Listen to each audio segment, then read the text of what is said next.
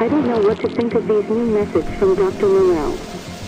Deep sleep therapy seems promising, but some patients react strangely. Yesterday, I saw Mr. Clement go into his artificial coma after the injection. He seemed almost peaceful, and it's a relief after his terrible attacks. But this morning, while changing his bandages, I noticed a curious thing. He was mumbling something, even while immersed in his artificial sleep. Coherent. I mentioned it to the doctor,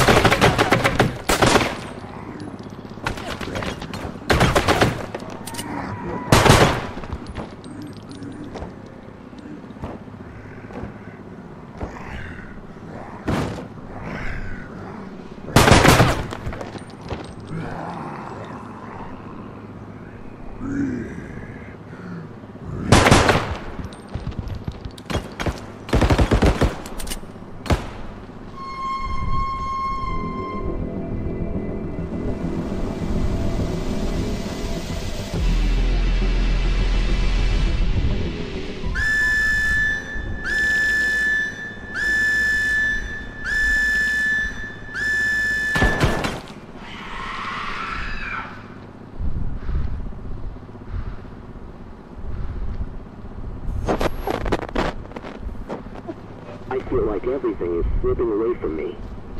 This isn't just a medical error. It's something bigger, something darker. My patients are not in a therapeutic sleep. They are trapped somewhere between life and death.